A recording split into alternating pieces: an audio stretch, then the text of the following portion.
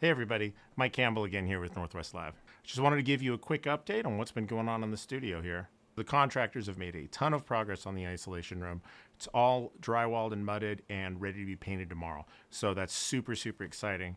And they've also started building the stage already. That'll come up really quick, probably just a few days. So I'm really looking forward to be able to start production next week with some projects, including a music video being produced right here for a certain local band. I'm really excited now that everything is coming together.